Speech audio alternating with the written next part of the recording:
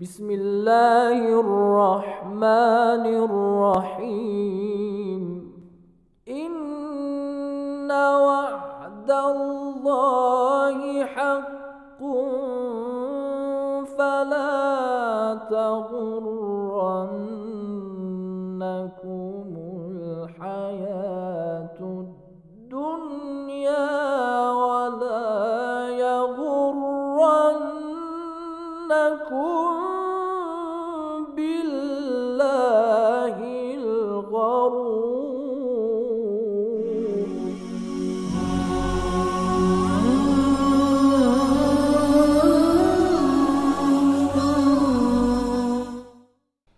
شاء اللہ ولا حول ولا قوت الا باللہ العلی العظیم. نعم المولا و نعم النصیر وصلی اللہ علی محمد وعلى آلہ الطیبین الطاہرین ولانت اللہ علی آدائہم اجمعین. اما بعد، ناظرین اج دے سارے پروگرام دا موضوع اخلاص عمل دے وچ. یعنی انسان کو چاہیدا ہے کہ ہر عمل دے وچ انسان اخلاص دا مظاہرہ کرے۔ بغیر اخلاص دے کوئی بھی عبادت اللہ دے نزدیک مقبول اور قبول نہیں ہو سکتی ہے۔ سب کا پہلے اساں اخلاص دی تعریف کرے سوں کہ اخلاص اکھیں دے کس چیز کون اخلاص دا معنی اے ہے کہ اپنی نیت کو انسان شرک اور ریا کا دور کرے۔ یعنی جدا انسان اپنی نیت کو شرک اور ریا کا پاک کرے سے اس ٹائم انسان اخلاص دا مظہر بن سکتا پیا ہے۔ جیئیں کہ قرآن مجید، فرقان حمید دے وچ سورہ قہف دی آیت نمبر 110 دے وچ اللہ تبارک و تعالیٰ دا ارشاد تھیندا پیا ہے۔ وما امروا لیعبدوا اللہ مخلصین لہ الدین کہ مومنین کو فقط اور فقط اخلاص دے نال ہی امر دیتا گیا ہے کہ ہر امر اور ہر حکم کو اخلاص دے نال انجام دیو۔ یعنی مومنین دی صفت ہے کہ کوئی بھی کم کریں دن، اخلاص دے بغیر نہیں کریں دن۔ اور اخلاص دے بارے جناب فاطمہ زہرا سلام اللہ علیہ دی بہت پیاری حدیث موجود ہے۔ بی بی روایت فرمانی پہن، من اسعدہ اللہ عز و جل خالصہ عبادت ہی احبت اللہ عز و جل الیہ افضل مصلحت ہی جناب زہرا سلام اللہ علیہ دا فرمان اے بہار الانوار دی جلد نمبر ستہٹ دے وچ صفحہ نمبر دو سو انونجا دے وچ ذکر ہویا ہے فرمان بی بی دا ارشاد ہوندا پیا ہے کہ جو بھی بندہ اپنے عمل کو اخلاص نل انجام دیندا ہے اللہ تبارک و تعالی بھی اس بندے کی تے بہترین مصلحت کو سامو رکھیں ہے اخلاص دے کچھ اساں کو کی خبر پوے کہ بندہ مخلص ہے یا مخلص کائیں نہیں؟ اس دے واسطے علماء اخلاق نے بعض علامتاں نشانیاں ذکر کیتیاں پہلی نشانی مخلص انسان دی جو کو اخلاص رکھیں ہے وہ اے ہے کہ اس دا دل پاک ہوندا ہے۔ مخلص انسان دا دل پاک ہو سے جی ارشاد ہویا ہے، یسلم قلبہو اس دا دل سالم ہوندا ہے۔ دل سالم ہوندا یعنی فقط اللہ دی محبت نل او دل مزین ہوندا ہے۔ شیطان دی اطاعت کا خالی ہوندا ہے، سالم ہوندا ہے او دل۔ اور اس دے بعد دوجی جی علامت مخلص بندے دی اخلاص والیاں دی ذکر کیتی گئی ہے۔ وہ اے ہے کہ اس دے جوارح جوارح یعنی اس دے آزا ہتھ ہون پیر ہون اکھیاں ہون کن یعنی تمام انسان مخلص بندے دے آزا سالم ہون دن تسلم و یعنی اس دے تمام آزا سالم رہسن۔ بالکل دل دیوانگر دل بھی سالم، جوار بھی سالم۔ اور دوجی چیز یہ ہے کہ او انسان مخلص ایسا ہو سے کہ دوجھے بندے دوجھے افراد اس کا فائدہ چاسن جی کہ ارشاد تھیا بدلا خیرہ کہ او خیر تقسیم کریں ہے، بدی تقسیم نہیں کریں اس کا دوسرے بندے خیر اور فیض حاصل کریں دن اس دے بعد ارشاد تھیا اور علامت ذکر کی گئی کہ مخلص بندے دی چوتھی علامت اے ہے کہ او دوجھے بندے کو نقصان نہیں پہنچا کہ کفا شر دوجھے بندے اس دے شر کا محفوظ ہوں دے یعنی او شر دی صفت ہی نہیں رکھیں دا کہ دوجھے بندے کو شر پہنچاوے۔ اور مخلص بندے دی اس کا بعد جی کی نشانی بیان کی تھی گئی ہے ہے کہ مخلص بندہ گناہ تو پاک ہوں ہے۔ گناہ سرزد اس کا نہیں ہوں جی ہاں، ارشاد تھے تمام الاخلاص تجنب المعاسی کہ کامل اخلاص دی نشانی اے ہے کہ او بندہ گناہیں کا پاک ہوں ہے، گناہیں کا بچیا ہویا ہوں ہے۔ اے دوجی علامت ذکر کی گئی۔ اس کا بعد جی دوجی بی علامت ہے جی بیان تھئیے وہ اے ہے کہ خدا کا علاوہ کہیں کا بھی امید نہیں رکھیں دا فقط اللہ تبارک و تعالیٰ کا امید رکھیں دا مخلوق کا کوئی امید دا منتظر بندہ نہیں ہوندا۔ جیئیں کہ ارشاد تھی دا پیائے العبادت الخالصت ان لا یرجو الرجل الا ربہ۔ کہ مخلص بندے دی علامت ہے کہ اللہ کا علاوہ کسی دوجھے ہستی دا موجود دا او کدا بھی امیدوار اس کا نہیں ہوندا۔ فقط اللہ دی ذات کا امید رکھیں دے اور اس کا بعد جے کی صفت بیان کی تھی گئی، وہ اے ہے کہ اے انسان کدا بھی کہ ٹائم بھی دوجھے لوگیں کا دوجھے مانیاں کا اپنی تعریف سنن دا مشتاق نہیں ہوندا کہ میں کوئی کم کہتا ہے ہوں میری تعریف کرن۔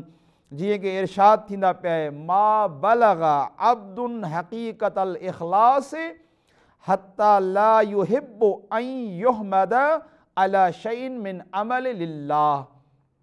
یعنی اے بندہ جو کو اللہ کی تے عمل انجام دیندا پیا یہ قطعا منتظر نہیں ہوندا کہ بیا کوئی انسان اس بندے دی جو کو اللہ کی تے اس عمل انجام دیتا ہے کوئی تعریف کرے۔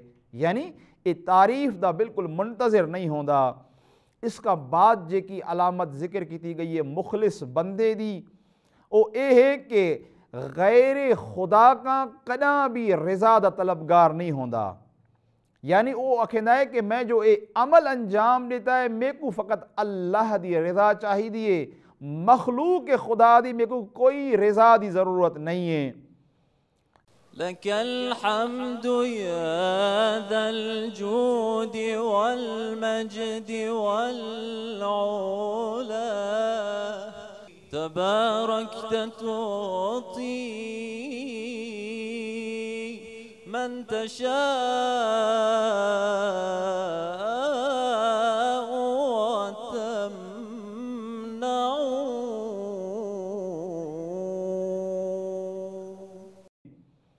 جی کہ مشہور و معروف واقعہ جناب بہلول، جو کو حضرت امام جعفر صادق علیہ السلام وسلام دا شاگرد بھی ہا ایک دفعہ ایک دفعہ ایک جگہ کا گزرے پیا۔ جناب بہلول ڈٹھا کہ مسجد تقریباً تعمیر تھی گئی ہے، آخری مراحل چے۔ جو کو مسجد دا بانی ہا بڑھاؤن والا، اس کا پوچھیا کہ میں کو سنا تو مسجد کس واسطے بڑھا دا پیائیں اس آخیا کہ میں اللہ دی رضا دے لے بڑھنا پیم مسجد کو تعمیر کریں دا پیم جناب بہلول آگیا ٹھیک ہے۔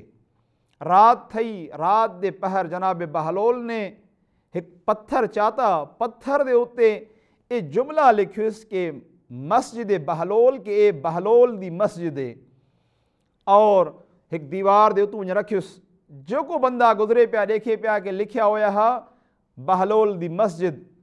جو کو شخص مسجد بناوے پیا، اگلے دی ثبوتہ جو آوے، دیکھے کہ لکھیا ہویا ہے۔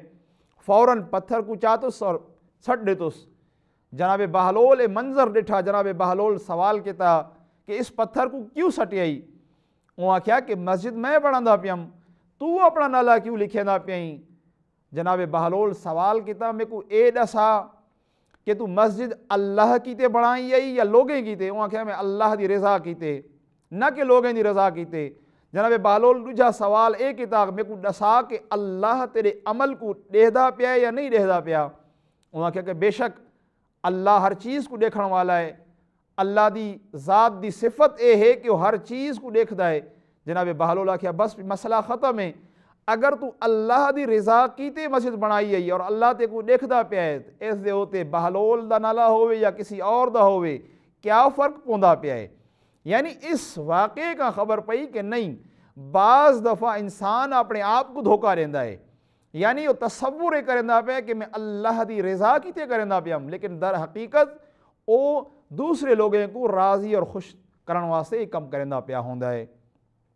اور بی چیز یہ ہے جی کہ مخلصین دی علامات ذکر کی گئے وہ یہ ہے کہ اس بندے کو مشہور اور معروف تھیون دا کوئی انگیزہ نہ ہوئے یعنی اس دل چ یہ نہ ہوئے کہ میں یہ جو نیک کم کیتا ہے، اس عمل دے بعد میں مشہور تھی ونیا معروف تھی ونیا کوئی انگیزہ اس دے اندر نہ ہوئے جی ہاں کہ بعض دفعہ سا دے دیں ایک انسان اگر مسجد بنے دا پیا ہے، اللہ نہ کرے کہ اس دے مسجد بناون دا انگیزہ آئے ہوئے کہ لوگ میری تعریف کرن۔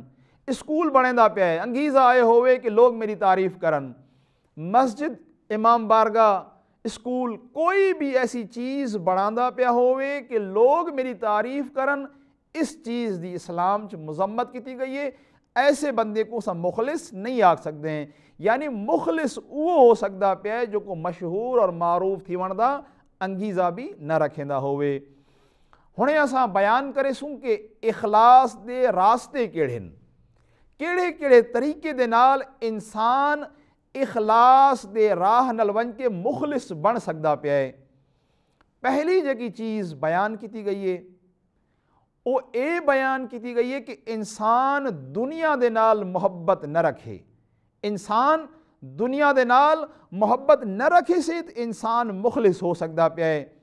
جی کہ مولا کائنات علی ابن ابی طالب دا بہت بہترین اور پیارا جملہ ہے۔ مولا کائنات ارشاد فرمانے پہن کہ مخلص انسان دی نشانی یہ ہے کہ زہد رکھیں ہے اور دنیا کا بے رغبتی کریں ہے۔ دنیا کی طرف کوئی رغبت اس کو نہیں ہوں ہے اور زاہد بن ہے۔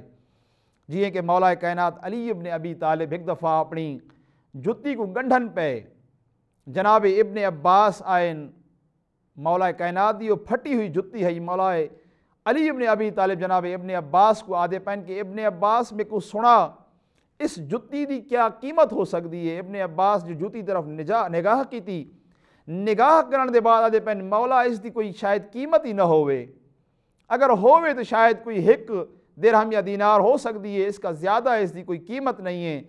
مولا کائنات علی ابن ابی طالب جواب فرما دے پہنا ابن عباس، اگر میں کو حکومت ملے اور میں اس حکومت دے وچ عدل و انصاف قائم نہ کر سکاں، مظلومے دی مدد نہ کر سکاں تو اس جوتی دی قیمت تو سالے متو حکومت کرن کا میں افضل سمجھدا پیام۔ یعنی مولا کائنات دنیا کا اتنا بے رغبت ہن، رغبت نہ رکھیں دے ہن کہ حکومت دی مولا پرواہ نہیں کریں دیں لیکن افسوس کا مقام یہ ہے کہ سارے پاکستان کے معاشرے ایک وزیر بنن کیتے، وزیر آدم تو بہت بڑی گال ہے، ایک وزیر بنن دے کیتے، حتیٰ کہ شہر دا چیئرمین بنن کیتے، ایک کونسلر بنن کیتے، انسان اپنا ایمان ویچ چھوڑیں دن یعنی تھی کوئی اخلاص نہیں ہوندا کہ عوام دی خدمت کرے سن۔ انہیں نہیں، میں آدھا پیام کے سب خراب نہیں۔ ماشاءاللہ بہت نیک انسان بھی ہن، جے کہ اللہ دے کیتے، اللہ دی رضا دے کیتے۔ عوام دی فلاح و بہبود کیتے کم کریں دن لیکن اکثر لوگ ایسے ہوں دن جو مال اور دولت کیتے ہوں دن یعنی تھا اخلاص دا تصور نہیں ہوں دا۔ اور دوسری چیز یہ ہے کہ اے بندہ، مخلص جو وہ چاہتا پہ کہ میں مخلص تھی وہاں راہ کیڑی کو اپناوے؟ اس راہ کو اپناوے کہ لوگیں دی تعریف دا محتاج نہ ہوئے یعنی انتظار نہ رکھے کہ لوگ اس دی تعریف کرے سن۔ جی کہ مشہور و معروف بہت سنگ زیادہ واقعات ملتے پہن۔ امام خمینی رضوان اللہ تعالیٰ علیہ دا مشہور و معروف جملہ ہے امام میں راحل فرما ہن کہ اگر سب لوگ آکھن کے خمینی زندہ باد ہے، میں خوش نہ ہو ساں۔ چونکہ میں قیام اللہ دی رضا کیتے کیتا ہے۔ اتھا عوام دی خوشنودی نہیں ہے، فقط اللہ دی رضا کیتے۔ اور اگر سب میری مخالفت ہو ونجن، میں ناراض نہ ہو ساں۔ چونکہ میرا قیام اللہ کیتے اور حضرت امام محمد باقر علیہ السلام والسلام دا بہت پیارا جملہ ہے۔ جناب جابر ایک صحابی ہے، امام باقر اپنے صحابی کو ارشاد فرمانے پہن، اے جابر، پورا شہر اگر تیری تعریف کرے، خوش نہ ہوئیں اپنی زندگی کو قرآن دے مطابق دیکھیں اگر تیری زندگی قرآن دے مطابق سمجھ کے تو اللہ دی رضا حاصل کیتی ہے۔ سب افراد سارے شہر والے تیری تعریف کرن، خوش تھی دی ضرورت نہیں ہے۔ اور جابر دیکھ، اگر تیری زندگی قرآن دے مخالف ہے سارے شہر والے تیری مخالفت کرن یا تیری خوشنودی واسطے تیری تعریف کرن، کوئی فائدہ نہیں ہے۔ یعنی معیار امام باقر قرآن رکھیں دے پہن۔ اگر قرآن دے مطابق زندگی ہے، لوگ سارے مخالفت کرن، ناراض تھی ون دی ضرورت نہیں ہے۔ اور اگر قرآن دے مطابق زندگی نہیں ہے، سارے لوگ خوشنودی واسطے تعریف کرن، خوش تھی ون دی ضرورت نہیں ہے۔ اور اس کا بعد جو کو تیسری چیز ہے، تیجا راہ رستہ ہے او انشاءاللہ العزیز میں اپنے اگلے پروگرام انشاءاللہ میں ذکر کرے ساں، اخلاص دے مراحل کو انشاءاللہ میں اپنے آئندہ والے پروگرام کو ذکر کرے ساں انشاءاللہ العزیز۔ اللہ تبارک و تعالیٰ کا اساں التماس کرنے پہ اساں کو مخلصین وچ اللہ شامل فرماوے۔ والسلام علیکم ورحمة الله وبركاته. يا كاشفا